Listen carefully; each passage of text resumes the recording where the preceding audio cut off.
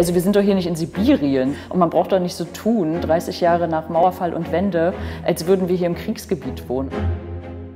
Ich habe schon mal ein Problem davon zu sprechen, dass es der Osten ist.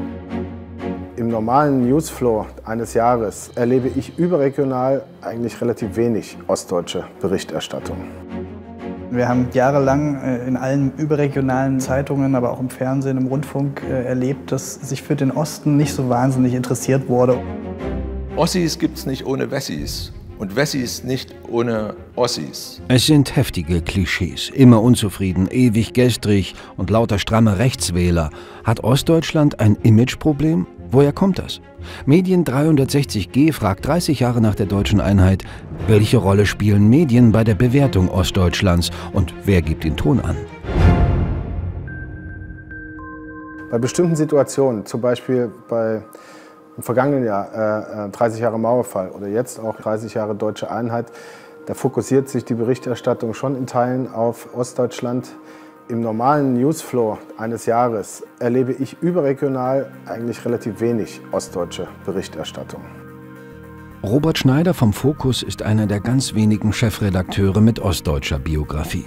Im Osten leben 12 der 83 Millionen Bundesbürger, aber gibt es eine faire Betrachtung der fünf ostdeutschen Bundesländer in den überregionalen Medien?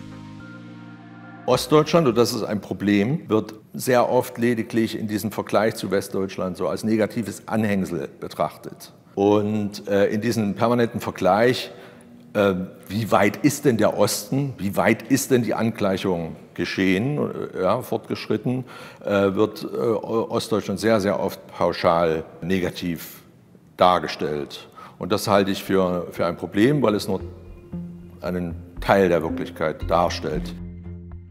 Aber warum ist das so? Weil der einzelne Mensch nicht überall zugleich sein kann, gibt es Medien, die uns ein Bild von der Welt vermitteln.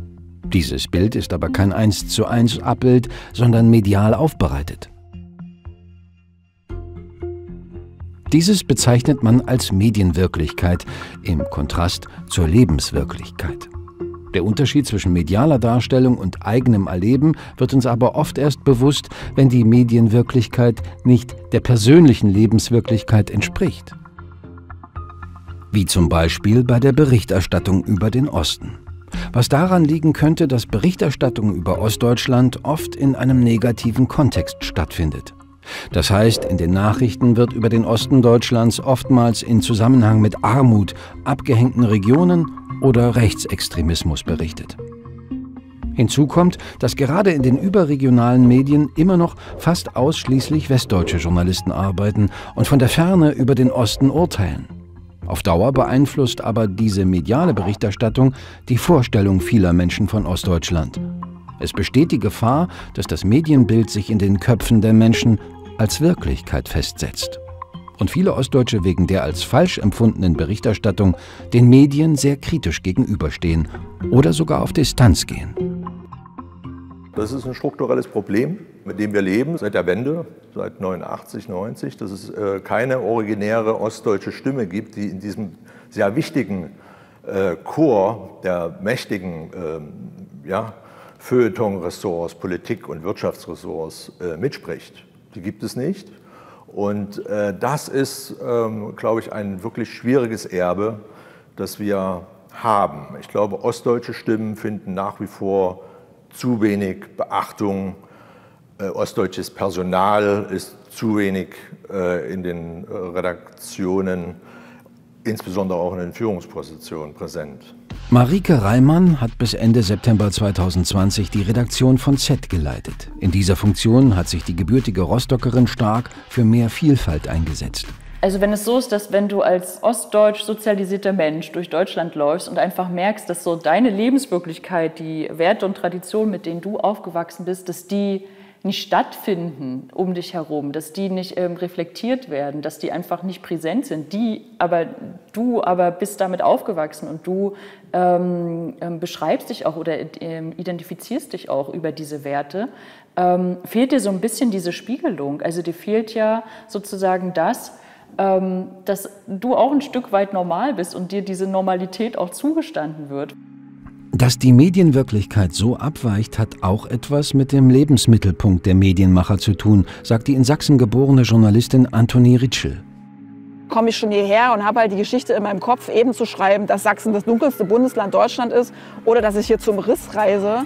Oder äh, recherchiere ich das eben ordentlich aus und versuche halt auch die Ambivalenz, die es ja hier absolut gibt. Es gibt ja nicht nur Rechtsextreme, es gibt nicht nur die AfD, Pegida, sondern es gibt halt äh, sehr viele andere Menschen und es gibt nicht schwarz-weiß und es gibt viele Menschen, die dazwischen auch äh, stehen, zwischen diesen ganzen Narrativen, die existieren.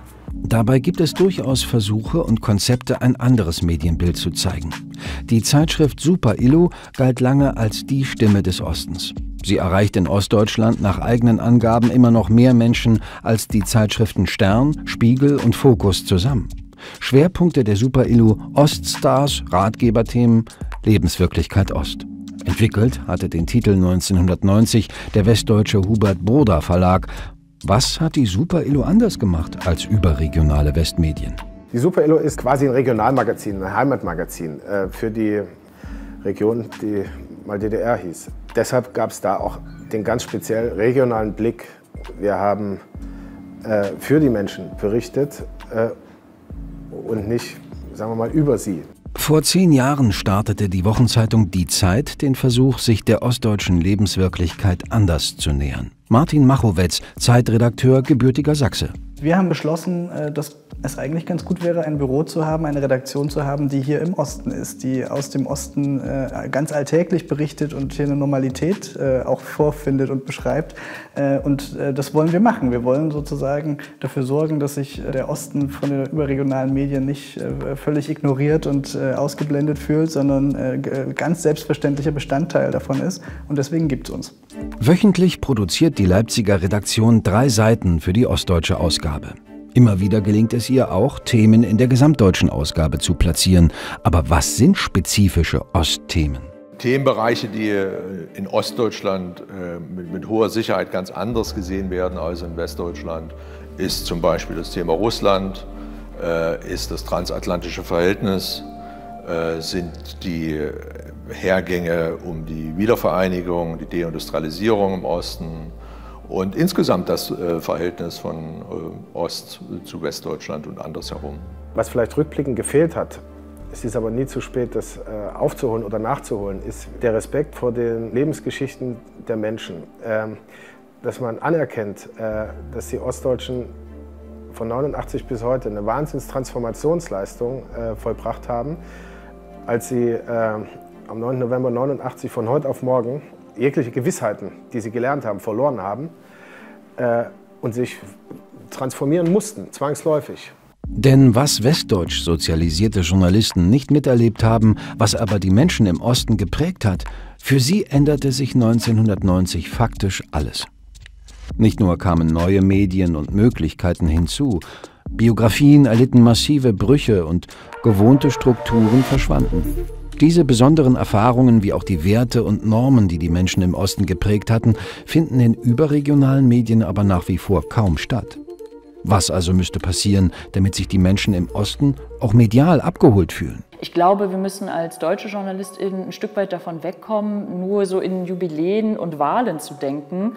Und dann auch, ähm, ein ganz klassisches Beispiel, äh, letztes Jahr titelte eine überregionale Zeitung im, im Norden, dass sie ihren Nachrichtenchef zum Beispiel mal rüberschickt. Oder es gibt äh, Menschen, die haben einen Roadtrip ähm, durch Ostdeutschland gemacht und darüber eine Reportagereihe herausgegeben, wo ich mir denke, also wir sind doch hier nicht in Sibirien und man braucht doch nicht so tun, 30 Jahre nach Mauerfall und Wende, als würden wir hier im Kriegsgebiet wohnen. Ich weiß jetzt schon, was nächstes Jahr hier wieder passieren wird. Da gibt es dann halt wieder hier die Festspiele mit äh, Bundestagswahl und Mecklenburg-Vorpommern-Wahl, Thüringen, Sachsen-Anhalt. Ähm, da würde ich mir halt einfach eine, eine, eine Stringenz äh, wünschen, in die Zukunft gerichtet, dass einfach Leute, also Journalisten, sehr viel mehr Journalisten eigentlich hier von vor Ort, dass die hier leben, dass die hier arbeiten, sehr viel öfter vorbeikommen, gut recherchieren. Das könnte auch verhindern, dass jetzt die wahnsinnige Transformationsleistung zur neuen Standarderzählung über den Osten wird. Medien müssen den Zuschauern nicht nach dem Mund reden oder ausschließlich dokumentieren. Sie haben auch die Aufgabe, gesellschaftliche Entwicklungen kritisch zu hinterfragen. Sie sind aber glaubwürdiger, wenn Lebens- und Medienwirklichkeit nicht zu weit auseinanderliegen. Ich glaube eben, das sind Partizipationsfragen. Man will wahrgenommen werden, man will ernst genommen werden, man will weder mit Klischees noch mit äh, Stereotypen äh, bedacht werden. Ähm, man will aus der Opferrolle heraus im Osten. Und da spielen Medien schon eine sehr, sehr große Rolle.